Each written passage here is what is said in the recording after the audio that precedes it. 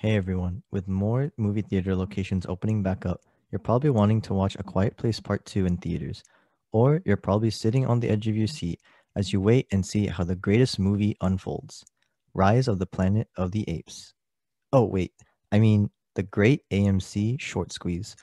Although the recent price action has come down from its highs only a few days ago, the AMC community is really coming together after this thinking of AMC as a reopening play plus the increased short interest that's taking AMC to stock to the moon.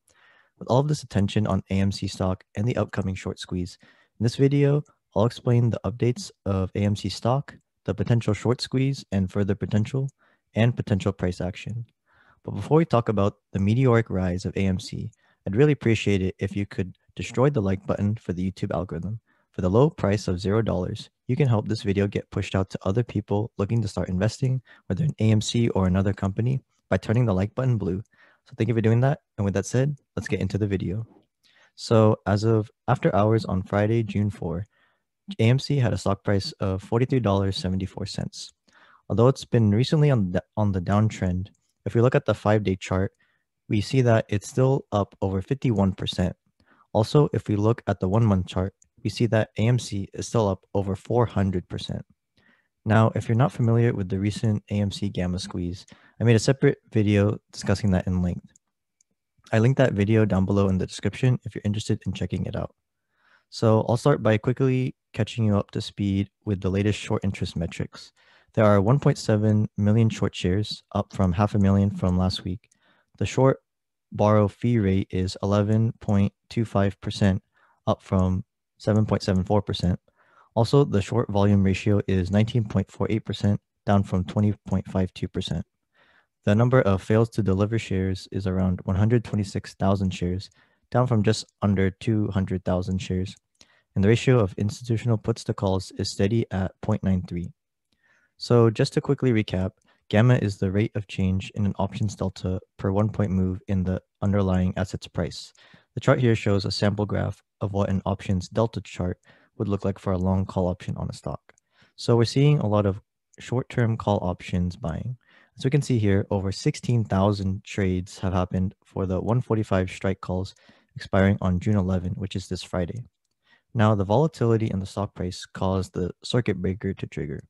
Circuit breaker points represent the thresholds at which trading is halted to prevent panic selling. Trading halts for specific symbols can be implemented for a variety of reasons and can interrupt your orders to buy or sell particular securities. These stock based halts are initiated by the specific stock exchange where the stock is listed or by the SEC. For context, the new rules follow changes adopted on June 10, 2010, that impose a uniform market wide pause in trading in individual stocks where price moves 10% or more in a 5 minute period. Keep in mind, market-wide trading halts can also be implemented by exchanges during periods of heightened volatility across the broader market. So, the circuit breaker can explain why we saw the price fluctuate this past week. Because of this recent uptick in the short interest for AMC, we're still seeing Google trends for AMC now higher than GameStop. Also, AMC's trend is still rising, so maybe the case where AMC gains more awareness leading up to the short squeeze, like what we saw with GameStop earlier this year. Interestingly, AMC is still also trending more than Dogecoin, Bitcoin, and Tesla on Google Trends. This chart shows the Wall Street Bets sentiment for AMC versus comment volume over time. While there doesn't appear to be a clear correlation between these two metrics, we see overall sentiment for AMC declining from its peak. Whether that affects the stock price up or down remains to be seen. Also, this chart shows Wall Street Bets stock mentions in the past 24 hours.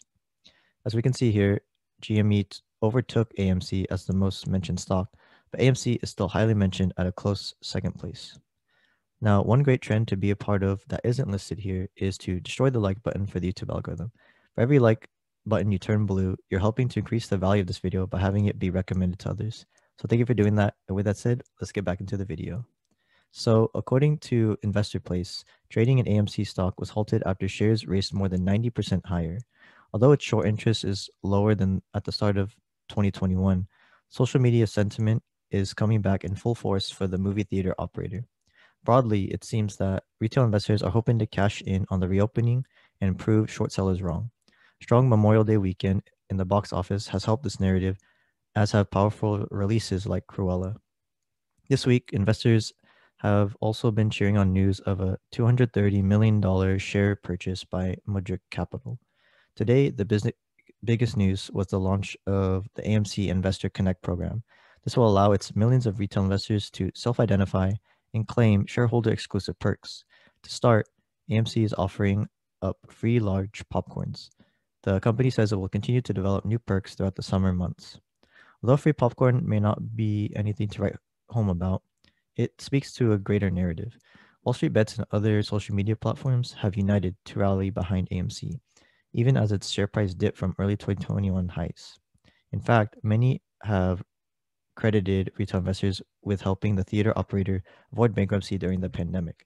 This means the AMC Investor Connect program is a show of good faith from the company and a way of validating the mission of the AMC community. Now, there's a Reddit post with a link to another Reddit post with a CNBC video about the naked shorts rumor. In the video, one of the CNBC hosts said, Naked shorts, yeah, in response to essentially a description of naked shorts by one of the other hosts. Now, this is pure speculation on my part, but if you notice in the video, her facial expression right after she says that may imply that she said something that she wasn't supposed to, which would imply that naked shorts are indeed being used to short AMC. In that case, it would be a perfect setup for an AMC short squeeze. Feel free to watch the CNBC clip for yourself to make your own opinion and conclusion. Now, Forbes also wrote an article on AMC exposing risks to index funds. Take the $68 billion iShares Russell 2000 ETF, ticker IWM. In the past week through Thursday, AMC powered 70% of the product's advance. The stock was responsible for less than uh, one tenth of the fund's return in the previous week. The AMC effect can be seen across a range of funds. Alongside IWM, the $17.5 billion iShares Russell 2000 Value ETF, ticker IWN, and $72 billion iShares Core S&P Small Cap ETF, ticker IJR, have also seen the stock's influence climb. At the same time, meme mania is bigger than ever. Alongside AMC and GameStop, companies including BlackBerry, Koss, and Bed Bath & Beyond also saw huge moves in the past week. The caching chaos exposes a glitch in the plumbing of many funds, which is what they're often tied to the rebalancing schedule of the index they follow. Given the speed of the rallies in the likes of AMC and GameStop, even tracking index that rebalances quarterly, a relatively frequent schedule by industry standards, leaves a fund susceptible to distortion. Not too long ago, AMC looked cheap and beaten down, meaning it qualified for many value factor strategies but the wild surge of recent weeks makes it among the most expensive stocks in the Russell 3000. AMC shares currently stand at almost 10 times the level analysts see trading a year from now, $5.25. The premium tops all Russell 3000 stocks that have enough of an analyst following to generate a price target, according to Bloomberg data, and more than double that of GameStop, the next overvalued stock. AMC will likely remain in many value funds until their rebalancing comes around. The obvious solution would be to rebalance more often, but that would bring more transactional costs to funds, which can be a big problem for passive vehicles charging rock bottom fees.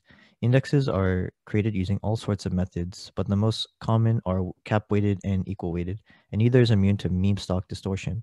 IWM is based on a cap weighted index, meaning it allocates according to a company's market cap. While it means it can keep pace with AMC's rally, it's automatically more exposed to potentially unstable investments. Fund now holds 1.75% of AMC, Bloomberg data show.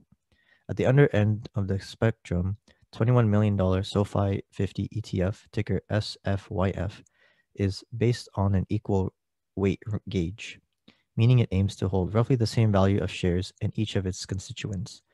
But with a semi annual rebalancing schedule, AMC now accounts for 20% of the fund. It should be in the low single digits. Ultimately, all of this should add up to good news for active money managers. Now, one way to play this is to hit the subscribe button and bell icon to get notified when my videos get uploaded.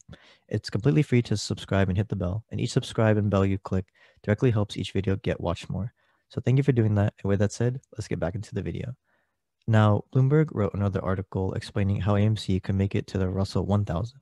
For context, the Russell reconstitution is a big deal every year, but this time, Potential changes for GameStop and AMC make it interesting for a broader swath of investors than normal.